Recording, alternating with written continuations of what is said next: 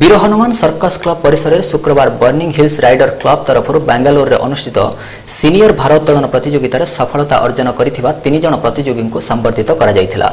ଏହି ସିନିୟର ଭାରୋତ୍ତୋଳନ ପ୍ରତିଯୋଗିତାରେ ଖ୍ୟାତନାମା ଭାରୋତ୍ତୋଳନକାରୀ କେ ରବି କୁମାର ପଞ୍ଚାଅଶୀ କେଜି ସ୍ନାଚ୍ରେ ତୃତୀୟ ସ୍ଥାନ ସୁଶାନ୍ତ କୁମାର ସାହୁ ବାଷଠି କେଜି ସ୍ନାଚ୍ ବର୍ଗରେ ପ୍ରଥମ ସ୍ଥାନ ଓ କୁମାରୀ ପଦ୍ମିନୀ ପାଢ଼ୀ ଅଣାଅଶୀ ଚର୍କରେ ତୃତୀୟ ସ୍ଥାନ ଅଧିକାର କରି ପୁରସ୍କୃତ ହୋଇଥିଲେ।